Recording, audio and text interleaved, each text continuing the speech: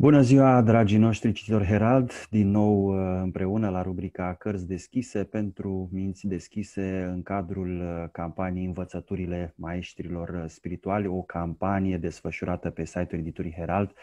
Toate uh, materialele, interviurile cu invitații noștri speciali le puteți găsi pe pagina oficială de Facebook a editurii Herald. Astăzi uh, este alături de noi uh, Gabriel Manolache, life coach, uh, profesor de meditație și vom vorbi despre învățăturile maestrilor spirituali, despre calea maestrului spiritual, cum ne ajută un maestru spiritual ca ghid, călăuză, îndrumător spiritual în viața noastră. Pornim discuția noastră și cu o recomandare de carte Uh, din uh, cărțile care fac uh, subiectul dezbaterilor noastre, învățăturile maestrilor spirituali, potențialul nostru uman, calea budistă a compasiunii, altruismului și liniștii interioare de Dalai Lama, o carte publicată în colecția Himalaya. Aș spune eu, sunt atât de multe cărți despre Dalai Lama încât probabil că ar trebui să vorbim despre o Uh, colecție sau o serie de autori, așadar în uh, colecția Himalaya, Dalai Lama, potențialul nostru uman. Și aș începe discuția uh, cu Gabriel Manolache de la ideea maestrului spiritual. Ce este de fapt un maestru spiritual? Această, așa cum spuneam puțin mai devreme, această călăuză, ghid, îndrumător și cum ne poate ajuta uh, el pentru evoluția noastră uh, spirituală. Am regăsit, uh, Sorin, și mulțumesc pentru invitație. Sunt uh, încântat, bucuros și recunoscător să fiu iarăși alături de tine în prezentarea unor uh, cărți de mare valoare, așa cum editura Herald este angajată să tot editeze. Felicitări! Mulțumim! E o contribuție uriașă la progresul spiritual al nostru, al tuturor. Și meritați toată recunoștința noastră, foarte, foarte încântați suntem. De ani de zile am observat, încă de la început, de când a apărut editura Herald, o distinție între această editură și cărțile pe care le scotea ea și alte edituri.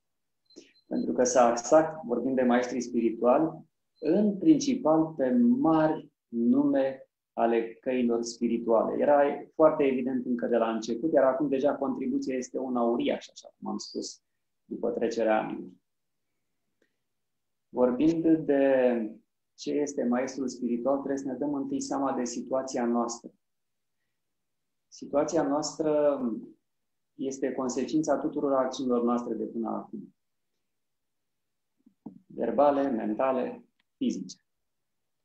Și noi practic suntem condiționați, încurcați, să zicem, ca să devină mai, deși nu e un cuvânt clar, încurcați în efectele propriilor noastre acțiuni. Suntem ca într-un labirint. Trăim într-o anumită paradigmă, formată din idei, credințe, păreri, ce știm noi la acel moment. Și de acolo, dacă vrem să progresăm, de unde suntem încurcați în paradigma noastră, avem nevoie să trecem la un alt nivel. Să, știi, e povestea cu Ariadna, cu firul Ariadnei, cu ieșirea din, din labirint. Ar fi foarte util să avem acest fir sau să ne ridicăm deasupra labirintului. Și atunci nu mai bâșbâim, nu mai o băcăim printre pereții labirintului și intrările lui false, ieșirile lui false. Exact acest lucru face un adevărat maestru spiritual. El a trecut prin labirint și acum fie ți-a lăsat, e în posesia unui fir al Ariadnei, care te, firul maestrului, care te poate conduce foarte ușor către ieșirea din el, către schimbarea de paradigmă ce te menține acolo unde ești, fie vede cumva de deasupra și are întreaga perspectivă asupra situației tale. Sunt două posibilități în care noi putem înțelege cum ne poate fi de ajutor un maestru spiritual. Un ghid spiritual, un învățător, un guru, un lama, pentru că denumirile sunt uh, diferite, sensul este același. De fapt, e vorba de un practicant mai avansat. Cât de avansat? Cu cât suntem mai norocoși și avem merite mai multe, cu atât găsim unul mai avansat. e un practicant mai avansat care ne poate arăta firul Ariadne, evident, dacă noi vrem să-l acupăm. Și de asemenea ne poate ridica deasupra paradigmei noastre într-un complex de metode, de învățături, astfel încât noi ajungem cu contribuția lui să câștigăm foarte mult timp și energie în demersul nostru de a progresa, de a evolua, de a avansa, de a învăța, de a fi mai bun. Putem uh, să primim, și aici fac referire la personalitatea lui uh, Dalai Lama, putem să primim informații sau mai degrabă nu le-aș numi informații, putem să primim uh, acea înțelepciune uh, din partea unui maestru, chiar dacă nu avem, să spunem, un contact fizic nemijlocit cu acesta. Și de ce fac această uh, referire? Uh, se spune că maestrul uh, spiritual apare în viața ucenicului, în viața discipolului, atunci când acesta are mai mare nevoie de el, atunci când acesta este pregătit. Și că nu uh, discipolul este cel care își caută maestrul, ci este exact invers. Și mă gândesc acum că pe lângă uh, prezența uh, în preajma sau lângă un maestru spiritual, uh, putem să primim această învățătură poate și de la distanță. Uh, eu știu citind cărțile uh, scrise de Dalai Lama. De asemenea, văzând tot felul de tutoriale care circulă și filmulețe care circulă pe, pe, pe YouTube, în care el are tot felul de conferințe, în care el vorbește exact despre ce spuneam puțin mai devreme, despre potențialul nostru uman de care de cele mai multe ori noi, ca oameni, nu suntem conștienți ce zace în noi, um, despre bunătate, despre iubire, despre compasiune, despre empatie, despre altruism. o întrebare importantă și cu mai multe, mai multe fațete. Aș pleca de la o constatare pe care am făcut-o eu însumi la diferite mm, întâlniri pe care le-am avut cu maestri de calibrul lui Dalai Lama sau poate nu de același calibru, dar chiar și cu Dalai Lama, unde la învățături da, participam fiecare pe cât eram uh, capabili să participăm și poate ne luam și notițe. Și observam, uh, după terminarea sesiunii de învățături, discutând între noi sau comparând adesea notițele, că am notat lucruri diferite.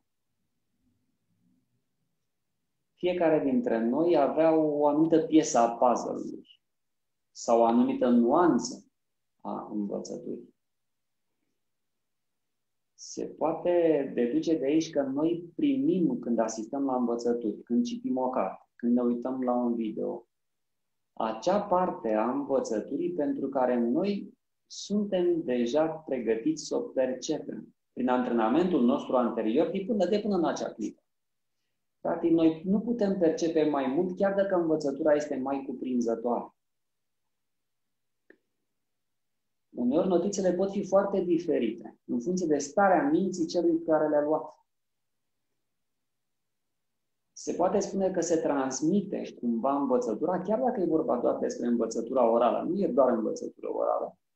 Se poate spune că se transmite pe mai multe niveluri. Și nivelul de percepție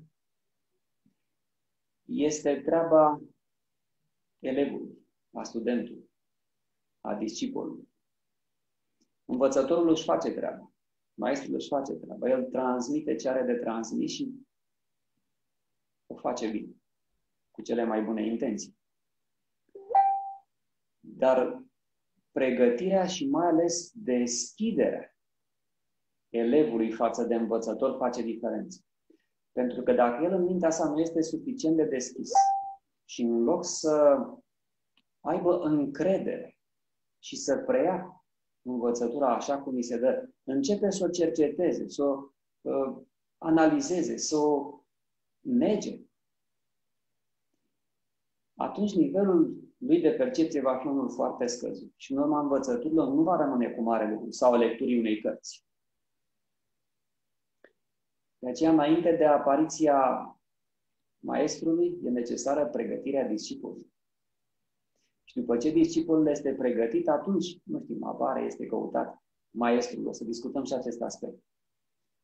Dar discipolul are nevoie de o pregătire, are nevoie de niște calități. Învățăcerul, elevul.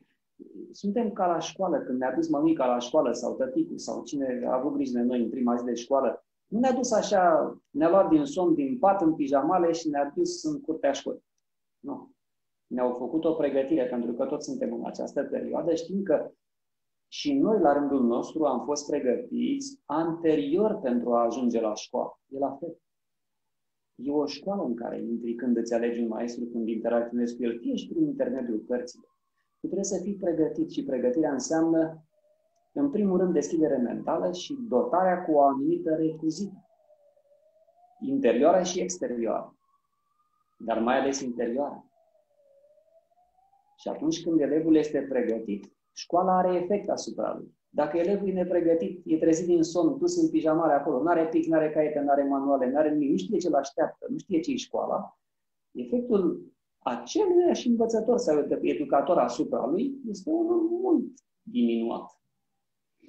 De aceea accentul nu cade pe pregătirea maestrului, ci pe pregătirea. Maestrul are treaba lui, s-a pregătit, se pregătește și acum. Accentul cade pe pregătirea elevului. Pe pregătirea elevului exterioară, dar mai ales interioară. E nevoie de deschidere.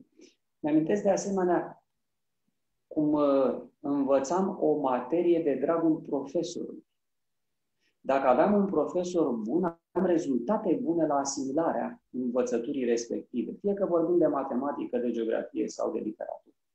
Dacă aveam un profesor cu metode nepotrivite, atunci asimilam foarte puțin din disciplina respectivă, matematică, geografie sau literatură. Foarte puțin. Și asta se datora aici profesorii. Profesorii pe care voi îi publicați, învățătorii pe care voi îi publicați la editura Herald, sunt uh, mari învățători ai oamenii, sunt deja recunoscuți. Ei și-au făcut treaba, nu suntem în postura unui profesor care nu știe ce face. Fie că vorbim de Dalai Lama, fie că vorbim, vorbeam noi aseară de Giddu Krishnamurti, sunt mari învățători care au dovedit nivelul și timpul a dovedit și rezultatele lor și ale discipolilor lor deja clasa, nivelul la care se află. Și atunci treaba este să ne pregătim noi. De aceea se spune când discipulul este pregătit, apare maestru. Da, apare maestru în conștiința elevului. Dar maestru nu o să vină niciodată să bată la poarta elevului. Știi, am venit, eu sunt maestrul tău. Nici măcar nu mai visat, nu mă știi, nu mai auzit, am venit să-ți predau. O să zici, mă, de aici, că n-am nimic, n-am treabă cu tine. Ce cauți aici? Te suspectezi. A trei altceva. Nu așa stau lucrurile. Pentru că prin una dintre calitățile necesare elevului care se pregătește să intre în contract cu un discipol este căutarea căutarea adevărului, căutarea aceea furibundă, căutarea aceea să simți că îți lipsește ceva cum îți lipsește aerul. Și atunci te vei duce cu acea căutare, cu acea aspirație către maestru. Nu vine maestru. Adică partea aceasta cu când elevul îi pregătit apare maestru, da, apare. Dar e valabilă la nivel interior lăuntric. Apare maestru cum? Discipolul află că are nevoie de un maestru. A ajuns la nivelul la care realizează de aici mi-e cam greu singur. Am nevoie de un educator, de un învățător. Știu să vorbesc un pic, articulez, am auzit pe mama și pe tata, dar nu fac față bine, așa, lumii, existenței.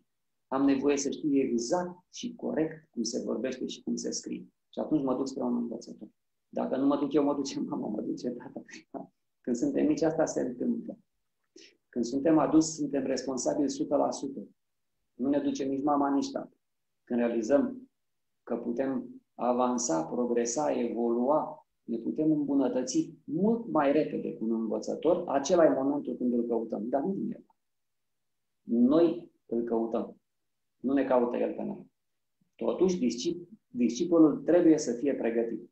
Are nevoie de această calitate să caute adevărul despre el însuși și despre existență, așa cum caută aerul când îi lipsește, mai mult decât când este foame. Foamea de adevăr e puțin. Respirația de adevăr e nevoie mult mai mare. După ce are această aspirație, el are nevoie de sârguință, are nevoie de discernământ, de inteligență, de memorie bună, ca să poată participa la învățături și acestea, fie și prin intermediul unor cărți, și acestea să pătrundă în mintea și în conștiința sa și de acolo să lucreze. Are nevoie de asemenea de o capacitate ridicată de punere în aplicare. Înțelepciunea, adevărul de care pomenei uh, puțin mai, uh, mai devreme, poate fi transmis uh, și prin o altă formă, spun eu, de comunicare și anume tăcerea.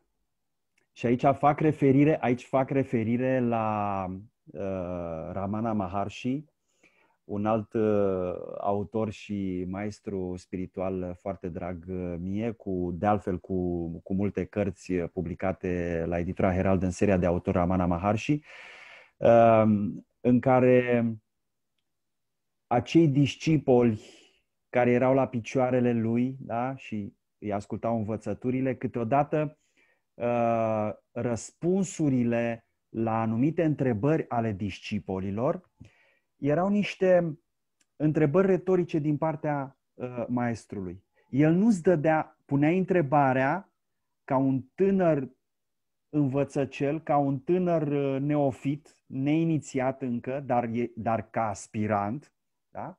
pentru aflarea învățăturilor și a adevărului și puneai niște întrebări, niște întrebări umane, firești. Și de altfel, răspunsul, să spunem în cazul de față din partea lui Ramana Maharshi, răspunsul venea cu o altă întrebare. Altceva decât uh, la ceea ce se aștepta uh, discipolul. De fapt, prin tăcere sau prin acest fel de a răspunde prin întrebări, maestrul îl determina pe ucenic, pe discipol, să-și răspundă singur sieși, să-și, să-și pună singur întrebări și tot el să vină cu răspunsul.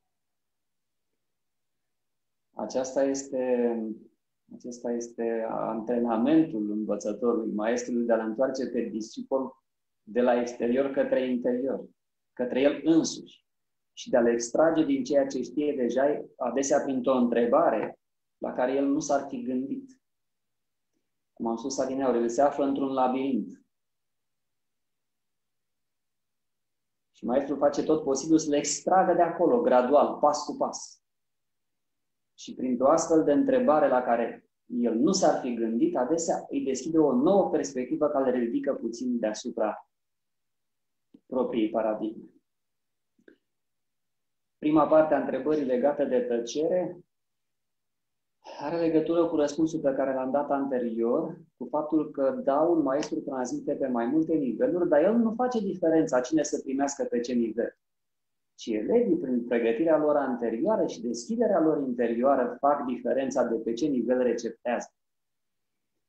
Și da, maestrul rece- transmite nu doar oral, transmite oral pentru toate urechile. Dar noi putem recepta nu doar cu urechile, urechile nu doar vibrația fizică a reverberației corzilor lui vocale. El face mai mult decât atât. E acolo o prezență. E o prezență care nu doar vorbește ca să transmită. Transmite prin propria prezență. Și acea prezență nu e o prezență oarecare, este o ființă excepțională. Realmente. Care o are o anumită vibrație, o anumită transmitere energetică.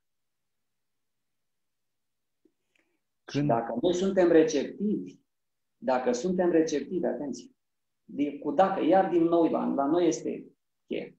Dacă noi suntem receptivi, noi o putem percepe și atunci primim informații de pe alte niveluri decât doar cele orale. Vorbim de informație ca învățătură, nu de informație ca și date. Că el nu transmite date, nu e un Google. Transmite învățătură, transmite experiență. Experiența prezenței, care este el deja prin propria evoluție. Și da, această transmitere se face și la alte niveluri decât oral. Oral, de fapt, e nivelul mai puțin, e nivelul de început. Dar el este un pic mai puțin cuprinzător. Cuvintele, știm și noi când avem anumite trăiri, că nu prea le putem pune în cuvinte, să le înghesuim în cuvinte. Sunt neîncăpătoare, sunt micuțe unor cuvinte, sunt niște șabloane. Prezența maestrului este cu siguranță mult mai vastă decât șabloanele cuvintelor pe care el le folosește. Și el folosește cuvintele pe care noi le putem înțelege. Dar prezența lui e mai vastă decât atât. Deschiderea noastră față de el face diferența dacă noi putem recepta această prezență la nivel energetic, la nivel spiritual. Și atunci partea aceasta este mai importantă decât cea verbală. Și da, această transmitere se poate face și revoluționarea fizică cuantică demonstrează deja că această transmitere se poate face la distanță. Se poate. Și indiferent de distanță, ci chiar de timp. Poate am spus prea mult, ne-am dus prea departe, dar citind studiile de fizică cuantică, publicate deja în reviste de specialitate, înțelegem că există o astfel de transmisie. Și nu este o teorie, nu este o posibilitate, ci este, sunt demonstrații științifice deja legate de modul în care funcționează realitatea. Iar maestrul, prin prezența sa, are acces la diferite niveluri, în conștiința sa, la diferite niveluri față de noi ale existenței. Deschiderea noastră față de el ne poate extrage rapid din acel labirint de care vorbeam la început. Cu cât suntem noi mai deschiși și mai necercetători și mai puțin neîncrezători față de el, cu atât extracția este mai rapidă. În modul acesta ne ajută. El nu vine și te scoate de acolo cu forța. Dacă noi avem dubii, dacă noi avem neîncredere, dacă noi avem așa din curiozitate să vedem ce e pe acolo, în timpul ăsta ne mai uităm pe Facebook, mai vedem ce ne-au scris prietenii, e alegerea noastră. El ne lasă în pace. El nu vine și ne trage de umăr, uite, trebuie să fii atent. La școală învățătorul mai venea și ne spunea, fii atent că te spun, taică. Da, un maestru nu o să facă asta. El te lasă pe tine, ai liber arbitru. Dar dacă tu faci aceste lucruri, nivelul tău de percepție este unul foarte redus. Chiar și la nivel oral vei percepe foarte puțin din ceea ce el transmite. Se spune că, se mai spune că atunci când uh, discipolul a ajuns la un anumit nivel de evoluție spirituală, uh, drumul sau călătoria, să-i spunem, uh, maestrului se încheie. Maestrul dispare din viața discipolului în momentul în care el a ajuns la un anumit nivel uh, de evoluție spirituală pe care, de altfel, uh, maestrul îl identifică în discipol și momentul în care cei doi împărtășesc acest lucru. Și, a, și revenind cumva la ceea ce spuneai tu mai devreme de transmisia pe cale uh, orală. Sunt, de exemplu, maestri spirituali care au trăit în urmă cu o mie, în urmă cu 2000 de ani, poate în urmă cu 3-4 mii de ani.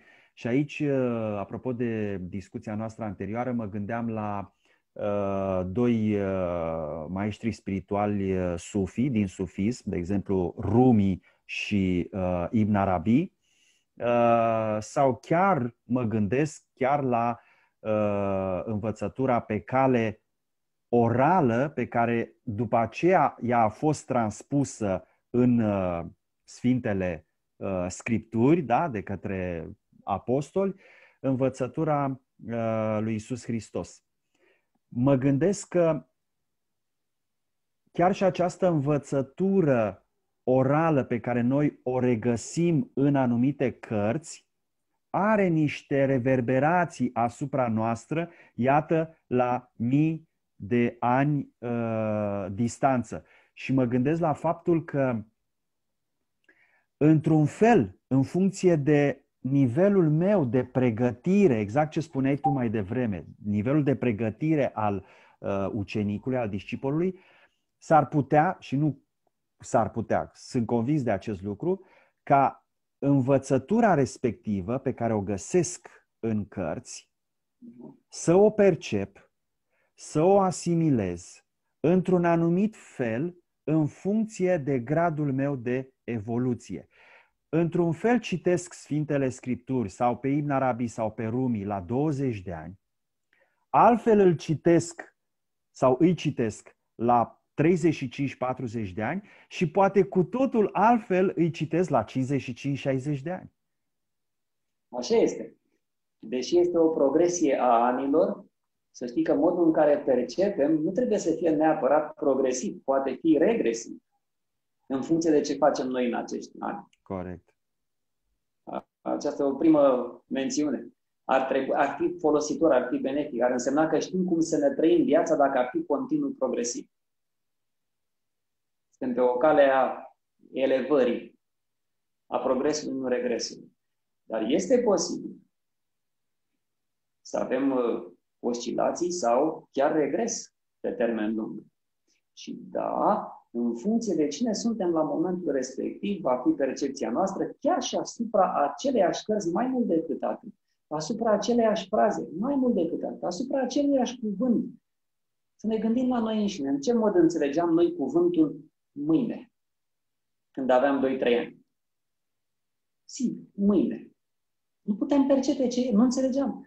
Ne amintim cu toții și cei care avem copii sau aveți copii știu, au copii între cei care ne urmăresc, știu că e foarte greu să faci pe copil să facă diferența dintre ieri și mâine.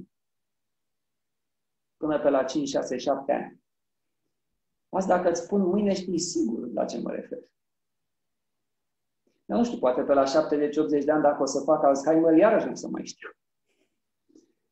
Deci, totul depinde de percepția noastră. Și atunci noi trebuie să avem maximă grijă la ceea ce influențează percepția noastră. Asta înseamnă pregătirea mea ca și discipol, ca și ucenic, pentru a trece de la statutul de neofit la cel de practicant. La percepția mea trebuie să am grijă. Și percepția mea depinde de o mulțime de factori. Mental, în primul rând. După care energetici, chiar fizici, că știm cu toții, dacă mâncăm ceva în regulă, suntem activi mental. Dacă mâncăm ceva nu foarte potrivit, suntem somnolenți. Dacă mâncăm ceva și mai alterat, suntem mai rău decât somnolenți. Nu vom fi în stare să învățăm ceva, să percepem ceva cum se cuvine. Nici mintea nu mai funcționează Deci sunt o mulțime de factori care influențează percepția, de natură mentală în primul rând, dar nu numai. Pentru că ansamblul acesta, minte-corp, funcționează interdependent. Noi trebuie să avem grijă la toate părțile sale dacă ne dorim cu adevărat progresul. Iar progresul se face prin acțiuni, evoluția se obține prin acțiuni precise, nu haotice, întâmplătoare. Pentru că nimeni nu va veni să încalce liberul nostru arbitru dacă o face. În niciun caz nu va fi un maestru cel care ți încalcă liberul arbitru. Pentru că el știe că evoluția se face gradual și la alegerea ta conștientă. Nu te va forța. Cel care îți forțează liberul arbitru nu este evoluat. Bine, mai te mai împinge un picuț așa de la spate. Dar te împinge de pe treapta 1 pe treapta 2. Nu încearcă de pe treapta 1 pe treapta minus 2 sau de pe treapta 1 pe treapta 5 pentru că ți-ar încălca mult liber arbitru și dacă te aduci direct pe treapta 5, oricum o să regresezi. Ca să iei din nou gradual. Pentru că n-ai fost pregătit pentru această percepție. Din nou, cu cât ești tu mai deschis, cu atât interacțiunea ta cu un maestru este mult mai benefică pentru tine. Și da, ar fi bine să avem o interacțiune directă cu un maestru, să ne alegem un învățător, să ne alegem un ghid. Ghid putem să-i spunem cum vrem. Putem să-i spunem cel mai bun prieten. Pentru că cel mai bun prieten nu e cel care spune da tot timpul sau cel care ne însoțește uh, la o bere sau la meciuri. Cel mai bun prieten este cel care e un exemplu de viață pentru noi și ne poate arăta drumul către evoluție. Și e foarte important să ne alegem care este cel mai bun prieten al nostru. Să ne bazăm pe el. Pentru că avândul ne este mult mai ușoară calea. Noi ca începători, ca practicanți începători, chiar dacă ne îngropăm în învățătură, nu putem descoperi înțelesul lor real. Al, chiar așa, superilor, al stanților, al învățăturilor lui Isus, ale lui Rumi. Nu putem învăța. Putem, dar ne ia foarte mult timp. Poate să ne ia vieți să pătrundem înțelesul. Pe când dacă avem un maestru și deschidere și devotament față de el, ne poate mult mai repede ajuta să pricepem înțelesul și mai ales să facem. Pentru că altfel, de la nivelul nostru de paradigmă, de la nivelul nostru de gândire, nu putem realiza foarte bine intenția celui care a scris cărțile sau învățăturile respective. Nu avem cum. Am spus, dacă sunt copil, sunt de la prima mea clasă la 5-6 anișori și îmi spui de ziua de mâine sau de... Eu nu, nu pot să înțeleg. Înțeleg cuvântul, am auzit de multe ori în jurul meu. Adică la aud așa intelectual. Trebuie să fie ceva acolo. Dar n-am o înțelegere exactă a ceea ce înseamnă. Și aici intervine rolul maestru. Pentru că el vine cu instrucțiunile potrivite personale pentru tine, de acolo de unde ești tu, și prin aceasta te ajută să pășești mai repede pe treapta următoare. Așa putem înțelege mult mai repede despre ce este vorba și câștigăm foarte mult timp pe care altfel l-am fi pierdut și o cantitate uriașă de efort economisit. Colaborând în modul acesta, dacă se poate, în mod direct, cu un ghid, cu un bun prieten. Da? Se poate și din cărți, se poate și fără. Și din cărți se poate cu un devotament deosebit, iar ajungem la devotament și deschidere. M-a întrebat mai devreme dacă se poate transmite din tăcere. Dacă ai devotament, da. Dacă nu, nu. Și dacă este un maestru adevărat, care chiar e o prezență, nu doar tăcută, că așa tăcuți putem fi și noi. Dar nu nu transmitem nimic. Se transmite un maestru realizat. Și atunci apare și necesitatea de a-l alege cum trebuie. De a pierde timp să cauți. A nu te grăbi. Să găsești adevărat prezența care este evoluată, modelul de prezență pentru tine. După care, când l-ai găsit, până, până îl găsești și când l-ai găsit și trebuie să cercetezi, să analizezi. E cu adevărat un model pentru mine. Reprezintă el prin modelul lui de viață ceea ce vreau eu să obțin. De exemplu, vreau să mă fac stomatolog, nu să învăț de la un mecanic auto cum se umblă la o măsea. Nu. nu. Trebuie să găsesc un om care asta face. Vreau să învăț să slăbesc. A trecut vremea când puteam învăța să slăbim de la cineva care nu era el însuși la o greutate optimă. Mă uit la cineva care are o greutate optimă, nu la cineva care nu are. Pentru că el nu e un model, nu e un exemplu. Deci, iată, sunt o mulțime de criterii după care noi ne putem selecta ghidul, maestrul, învățătorul, cum mă spune, prietenul cel mai bun. Și aici, putrece, aici trebuie să petrecem cel mai mult timp. În a analiza calitățile lui, bunele lui calități. Și dacă sunt, după ce am analizat, putem analiza un an, doi, trei. Dar după ce am analizat trei ani și ne-am dus la el, către el, fie și doar către cărțile lui, să zicem că nu ne permite, meninde, Dalai Lama sau alt maestru. Dar îi luăm cărțile.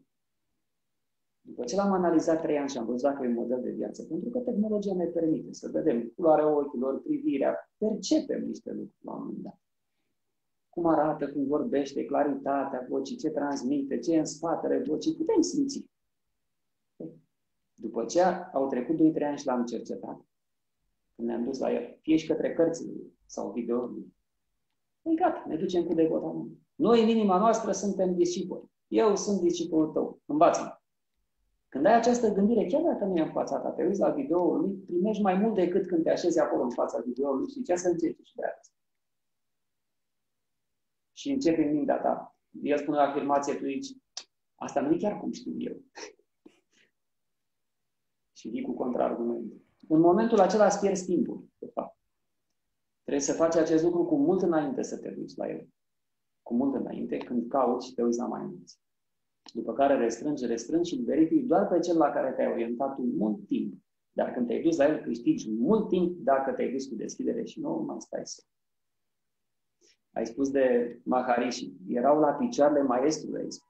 Ce înseamnă acest devotament? Ce le-a spus Iisus celor care erau la început interesați așa, să ne aducem aminte pe Petru, cum să facă ei, dacă să ducă sau să nu se ducă după el. Ce i-a spus Iisus? Lasă tot și urmează mie. Ce înseamnă lasă tot? Lasă tot ce știi. Paradigma ta nu contează. Când îmi urmezi mie, nu stai să mă contrazici. Nu e că el avea orgoliu. Nu vorba de orgoliu aici, e vorba de timpul pierdut al apostolului, al discipolului. Pentru că tu de la nivelul tău nu vezi ceea ce vede el de la nivelul lui. Și e mult timp pierdut dacă el ar sta să-ți tot demonteze ție iluziile. Pe când dacă tu ai acel devotament pe care l-a cerut Iisus, lasă tot, tot. Și fizic, și material, și dumnezeu, și mental, lasă tot. Și urmează în mine. Aceasta e calea cea mai scurtă. El ne-a spus. De fapt, toți maestrii o spun în acest mod. Mai nou nu prea se mai spune. De ce? Avem o minte foarte analitică și pentru noi e foarte greu să avem partea aceasta de deschidere și devotament. Am putea spune că maestrii din prezent au o treabă ceva mai delicată, mai de făcut. Discursul... În sunt oamenii deschiși, încă sunt mai deschiși și mai devotați decât sunt la noi. Sunt și avantaje, pentru că în zona occidentală există, datorită educației și sistemului de învățământ actual, o minte foarte analitică. Și, și acest lucru este un mare ajutor. Dacă mintea analitică ar fi însă cumva completată de devotamentul față de cel mai bun prieten, de ghidul tău, atunci progresul este cel mai rapid. Discursul susținut de sanctitatea sa Dalai Lama în campusul Universității Harvard a devenit, uh, prin munca editorială realizată de Jeffrey Hopkins, un manual de învățături prin care putem să dezvoltăm într-un stil personal bazat pe fundamente budiste calea către propria noastră umanitate, către altruism și înțelepciunea de a trăi viața cu bunătate și candoare față de noi înșine și de toate ființele sensibile de lumea în care uh, trăim, scrie pe coperta 4 a cărții Potențialul uh, Uman de Dalai Lama. Dragii noștri, am vorbit astăzi despre învățăturile maestrilor uh, spirituali alături de Gabriel Manolache, life coach, profesor de meditație, Uh, am vorbit pe marginea cărții scrise de mm, Dalai Lama, Potențialul uh, Uman. Noi uh, ne dăm întâlnire la o nouă ediție, la un nou episod al rubricii Cărți deschise pentru minți deschise. Nu uitați de campania Învățăturile Maestrilor Spiritual, campanie pe care o găsiți atât pe pagina de Facebook a editurii Heral, cât și pe site-ul editurii. Vă mulțumim foarte mult că ați fost uh, și astăzi uh, alături de noi, să aveți o zi binecuvântată în continuare și lectură plăcută. La revedere!